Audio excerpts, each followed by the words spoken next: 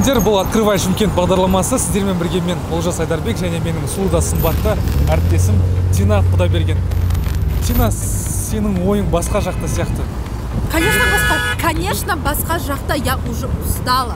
Я хочу начать свой бизнес. Мы ходим тут, бродим, спрашиваем у этих вот бизнесменов, как и что. Я тоже хочу быть бизнесменом, знаешь? Я хочу начать свое дело. Мне уже надо, вот допустим, вот, вот допустим, лампочку придумали, да? Вот человек, который придумал лампочку, он же вот, допустим, да? Он обеспечил свое поколение на 100 лет вперед, да? Или вот, пожалуйста, элементарно, вот, пожалуйста, вот дезинфектор. Особенно сейчас в пандемии. До пандемии, конечно, никто не знал про эти дезинфекторы, но сейчас они же капец как популярные стали. И вот этот человек сейчас, он, он, наверное, хорошо живет, он умный человек, он это сделал, и он собой горд. Еще он принес пользу обществу.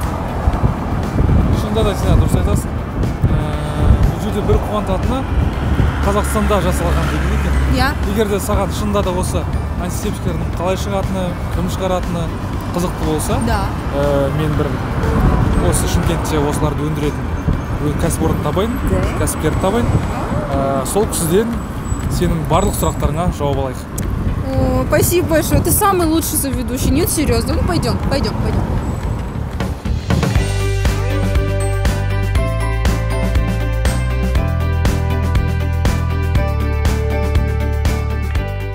Мухит Каблбекович является генеральным директором научно-производительного объединения «АСЕМ», которое специализируется на производстве всех дезинфицирующих средств. На его предприятии производится то, без чего невозможно представить ни одну медпроцедуру, ни одну операцию. Обеззараживают ли медики руки, инструменты, готовят ли те или иные приборы.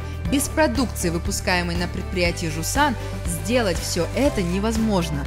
Нам все эти процедуры кажутся само собой разумеющимися, но насколько важна их роль? Антимикробные средства – это как серые кардиналы в мире медицины. Без них – как без рук. Добрый день. ассалаумағалейкум мырза ә, менің әріптесіме жалпы кәсіп саласы бизнес саласы өте қызық.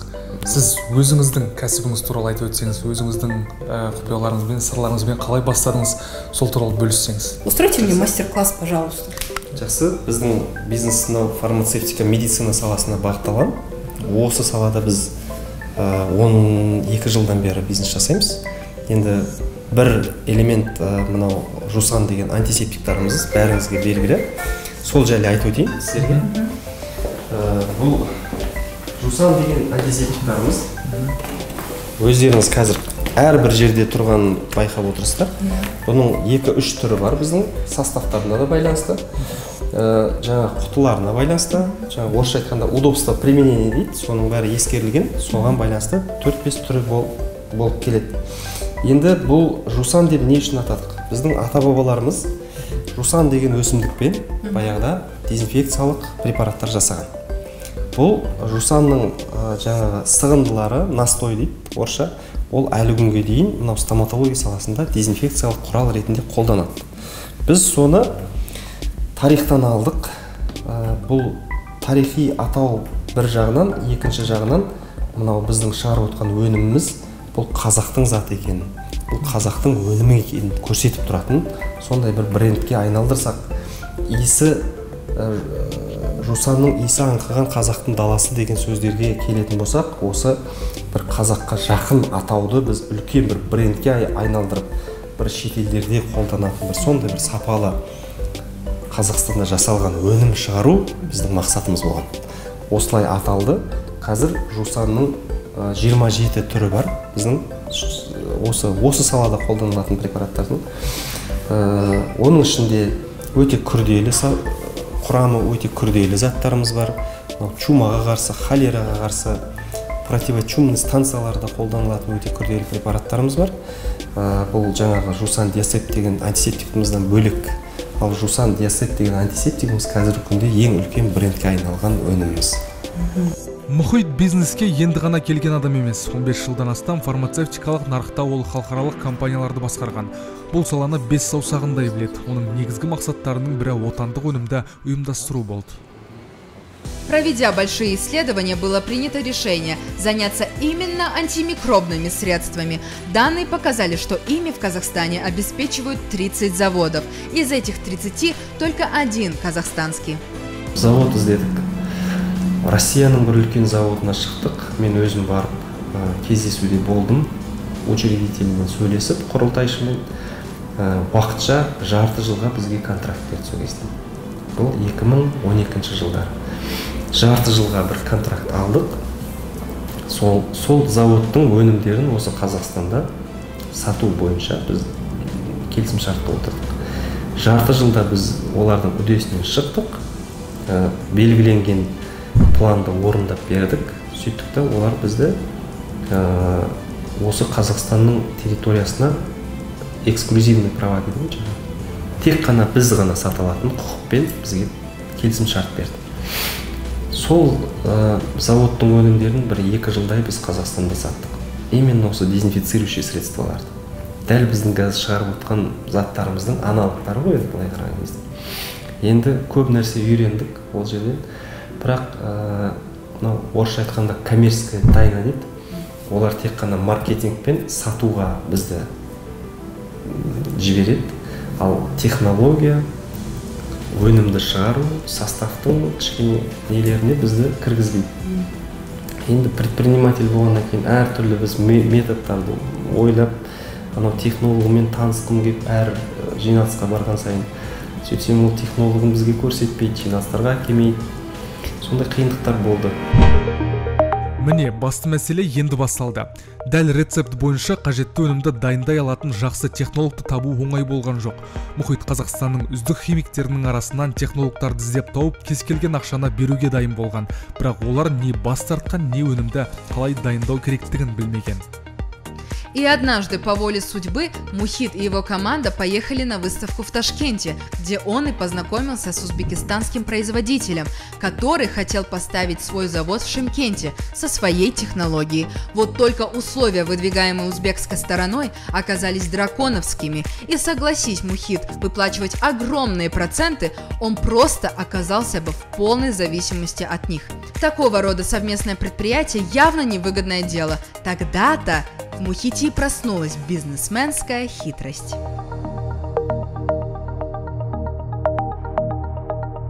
біз кішкене қулыққа шықтым мен. Ол кісілердің технолог ә, бір көмекшілері болды да сол кезде. Мені күтіп алады шығарып салып жүрген жігіт болды. Ә, мен барған кезде границадан күтіп алады шығарып салады обедке апарады. Ана кісі тек қана қабылдайды мені жібереді.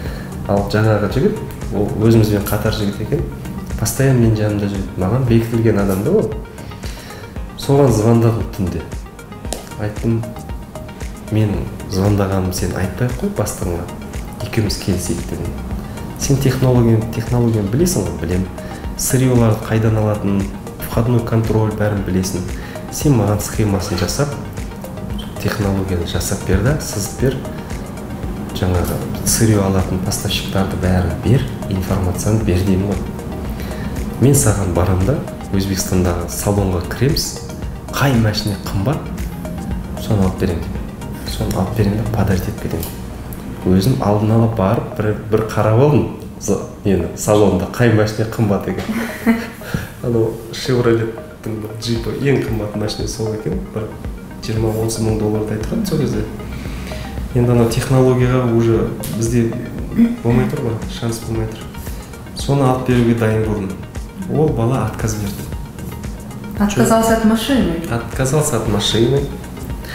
Он более того он пошел рассказал об этом на следующий день ко мне звонит товарищ старший.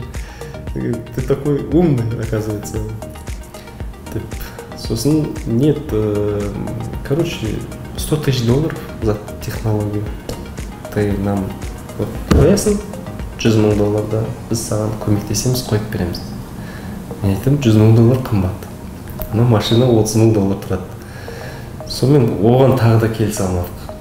Сосын кішкене намысқа тиетін сөздер айтылып қалды ол жерде. Енді сендер оны істей алмайсыңдар деген. Бәрібір біз маған келесің. Сен оны істей алмайсың. Сен одан да менің условияма көнуің керек деген сондай бір кішкене ұлттың намысына тиетін сөздер болған кезде мен осыны істеймін қалай да болмасын деп шықтық. Бірақ енді олардың завод туралы вообще кішкене представление болмай тұрған кезде ол кісілердің маған көмегі болды. Өйткені мен заводтың ішіне кіріп реактор қандай болады анау қандай болады мынау қандай болады бәрін қарап қарап алдым. Енді жаңағы биркаларын қарап алдым. Откуда это все деген сияқты. Сол биркаларды кейіннен келіп интернеттен іздеп тауып бұл не зат? Өйткені оборудование тұр оның не екенін білмейсің. Олар да айтпайды оны. Ол бір қызмет атқарып тұр ғой. Мен ол үшін барамын да биркасын қараймын биркасындағы цифраларды жаттап аламын да цифраларды келіп интернетке нетіп бұл не нәрсе? Бұл дозатор. Значит дозатор болу керек екен. Сөйтіп осындай бір қиындықтар болған. Соғыста барлық құралдар жақсы. Егер бірдеңені қатты қаласаң соны аласың деген рас. Ақырында мұхиттың командасы астанадан қажетті технологты тапты. Маман келісімін берді. Бірақ екі айға созылатын оқу шығындарын компания өз мойнына алады деген шарт қойды. Әрине мұхит оған көнді. Осылайша олардың өздерінің рецепті пайда болып оны олар патенттеді. К слову, бизнесмен затронул один очень любопытный нюанс – когда больницы объявляют о закупе дезинфицирующих средств для своих хирургических инструментов, в описании к товару указывают просто «дезинфицирующее средство». Но достаточно взглянуть на упаковку любого образца бытовой химии, что вы используете при уборке дома, чтобы прочитать «дезинфицирующее средство». Но для дезинфекции мединвентаря такое средство однозначно не подойдет, а неточность в описании тендерной документации – лишь дополнительная лазейка для якобы предпринимателей. опасный зат қой опасный ситуация мәселені көтердім мен мен атамекеннің жиналыстарында да көтердім басқа жерлерде де көтеріп жатырмыз ассоциация бес завод бар үлкен завод бесеуміз бірігіп алып бұны жаздық бірақ пока ештеңе жоқ вот Енді сырт көзге білінбейді біз ішінде жүрген адам болғаннан кейін біз бұны білеміз міне біз оны тіпті білмейміз. Әлемде қамқорлық жасайтын және ең алдымен өз жұмысына жауапкершілікпен қарайтын адамдар бар екендігі қуантады. Бұл халықтың әл ауқатында айқын көрінеді. Мұхит айтпақшы нағыз кәсіп иесі бұл үнемі жаңа нәрсеге ұмтылатын адам. Сондықтан мұхит өз саласында қалыптасып алса да ол ғылым білімге қайта келді. Енді ендігі мәселе былай. Баяғыда қаныш сәтбаев деген атамыз болды. Білесіздер ғой? Елуден асқан шағында мен бұны бір екі жерде интервьюда да айтқам тағы да бір айтып өтейін. Елуден асқан шағында соттың председателі болып отырып өзі ол сотта жұмыс істеген кісі. Барады да геологияны оқиды. Елуден асқан кезде. Неге? Өйткені қазақты асырайтын сол мамандық екенін білді да ол кісі. Сол кісінің сол шешімі сол елуден асқан шағында оқыған геологиясы сол білімі бізді әлі күнге дейін асырап келе жатыр. Қазақмыз әлі күнге дейін асырап келе жатыр.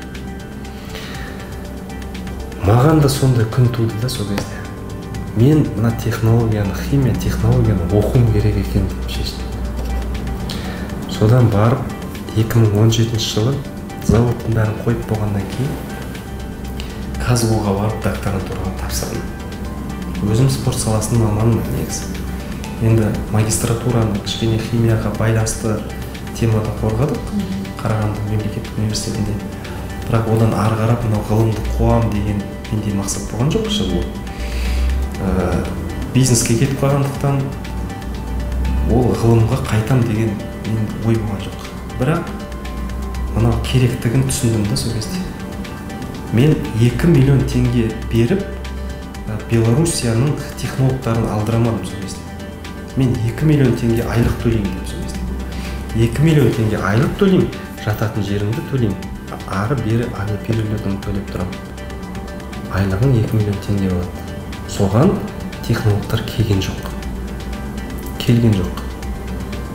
Востребованный мамандық па? Востребованный мамандық. Неге оны оқымасқа? Біздің елдің ақсап тұрған жері сол жер болса. По мнению Мухита, бизнес – это то, что поможет укрепить и сохранить независимость Казахстана. Ведь чем больше отечественного производства, тем меньше долгов другим странам. А значит, эти страны не могут в качестве оплаты долга потребовать нашу землю. Логично, не правда ли?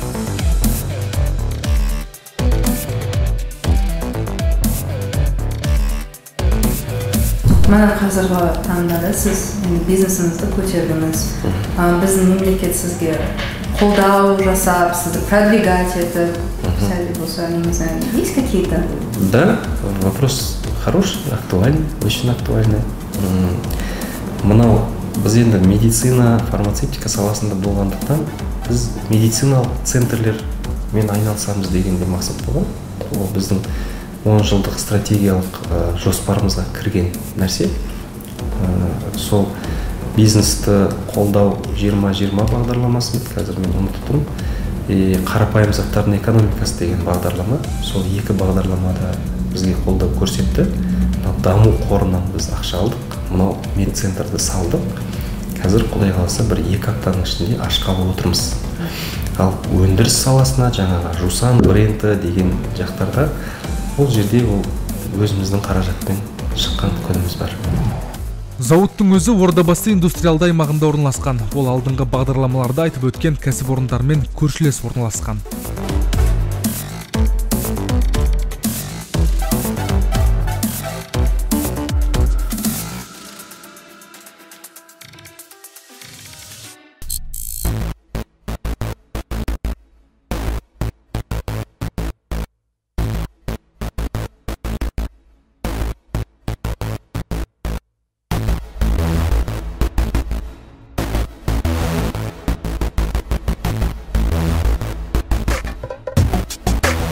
Все мы помним, как маски и антисептики подорожали во время пандемии, а в некоторые дни их вообще не было на прилавках аптек – Народ бушевал и ругал правительство за такую неорганизованность. Дошло до того, что производители алкогольных напитков переквалифицировались и начали производить антисептики. Завод Мухита, который в первую очередь производил обеззараживающие средства для врачей и больниц, поставил на первое место производство антисептиков.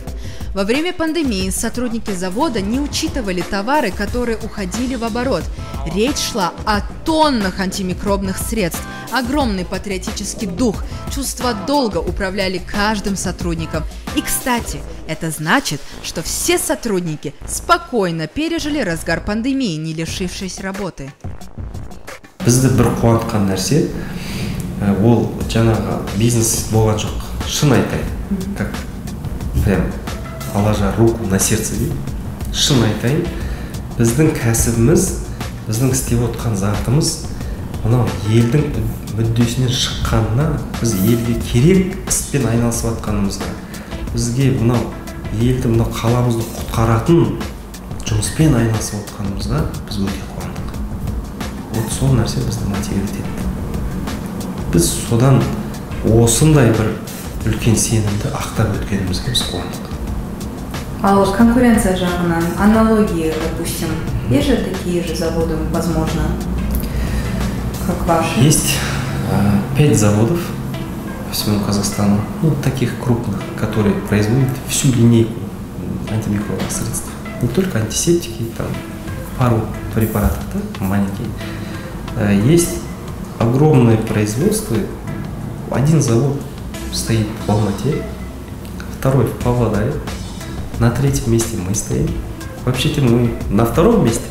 Но почему-то нас как бы при, приписали на третье месте по объему продаж, по объему производства, хотя мы на втором месте стоим. Как думаете, почему это происходит?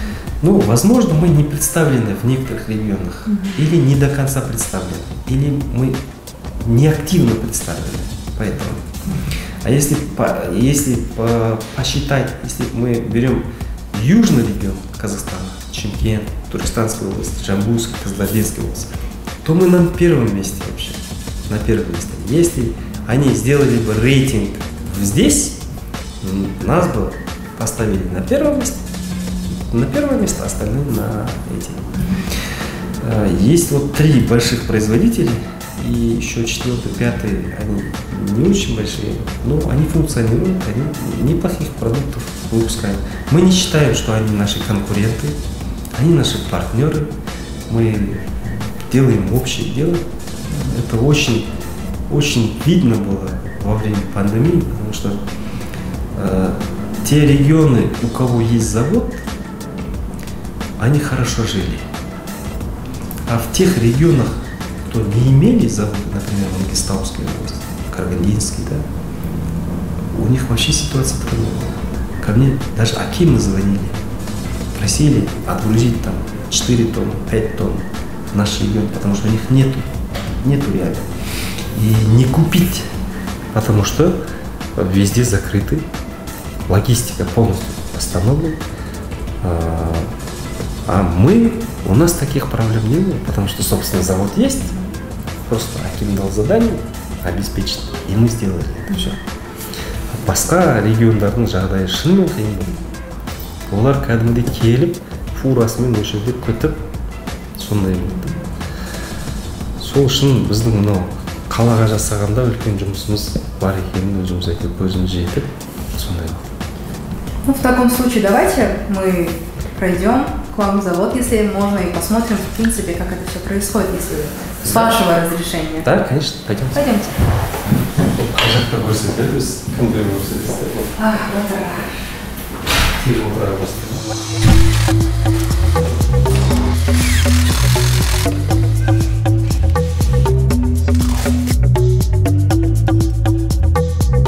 жалпы мына дезинфекциялық құралдардың екі түрі бар Ә, бірі дайын растворлар дайын сұйықтықтар. Екіншісі концентрированный. Оны қолдану үшін белгілі бір деңгейдегі белгілі бір проценттік сұйықтықтар егер мынау дайын өнімдерге келетін болсақ мына мынау Жу- жусан деспрей деп аталатын зат бұл дайын өнім.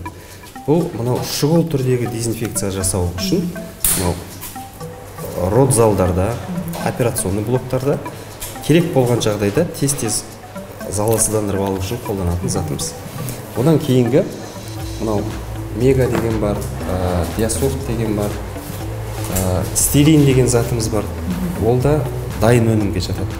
Енді мынау бір концентрированный өте ә, күрделі ә, құрамда заттарымыз бар.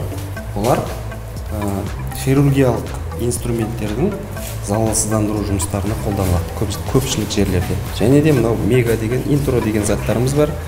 Бұлар ә, противочумный станциялар дейді жаңағы чумаға қарсы станциялар көбінесе қолданады. Ә, мынау бес түрлі өте қауіпті инфекция болатын болса сол бес түрлі өте қауіпті инфекцияға қолданылатын осы концентрированный заттарымыз бар. Енді бәріңізге белгілі мынау халықтың үдесінен шыққан жусан диацид деген антисептигіміз бар. Бұны енді қазір бір үлкен бір брендке айналған. Бұны барлық жерде көріп жүрсіздер. Осы біздің антисептигіміз қазіргі мынау пандемияға қарсы күресте ең үлкен бір құралымыз болып отырған осы зат. Ә, осы заттың қалай жасалатынын кішкене айтып өтсек. Мынау жусан деген антисептигіміз бірінші мынау реактор деп аталады. Мынау реакторлардың ішінде ә, жасалады. Бұған керекті компоненттің бәрі өз уақытымен өзінің температурасымен салынғаннан кейін екі сағаттың ішінде ол мынау бір однородный ә, свойство дейді орысша айтқанда бір жаңағы сұйықтыққа бірігіп осы реактордың ішінде дайындалады. Одан кейін барып үш сағаттан кейін ол мынау дозаторларға өтеді. Мынау мынау дозаторларға өтеді. Осы жерде құйылады. Бұлар бір литрға қоятын болса бір литр бес литрға қоятын болса настройкасы бес литрға қояды. Одан кейін барып мынау құтының аузын бекіту жұмысы жүріледі мына жерде.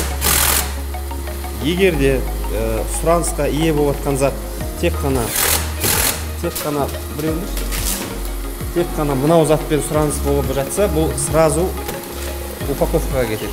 Егер басқа да сұранысқа ие басқа заттар болатын болса онда мынау этикетканы орайтын аппараттарда жүргізіледі осыны міне осылай этикетканы орайды сосын барып мына жерге келіп әртүрлі мынандай дозатормен болуы мүмкін басқа да анандай сулармен осы жерде дайындалып өнім шығады ары қарап складқа кетеді В день сколько вы выпускаете таких вот продукций? Вообще м, емкость, э, мощность завода 10 тонн в сутки, но в зависимости от спроса мы иногда производим одну тонну, две тонны, три тонны. При необходимости мы можем увеличить объем производства до 10 тонн. Речь идет о тоннах, ребят. Понимаете, как все серьезно? Бұл орынға қарап күн сайын ең қатаң тексеруден өтетін 10 тонна өнім шығады деп ойламайсың. Бас директор зауыттың кеңейе түсетінін айтады. Бізді бірнеше айдан кейін жаңарған зауытты көруге шақырды. Сөзінше мұнда жаңа станоктар желілер болады. Оны да көре жатармыз.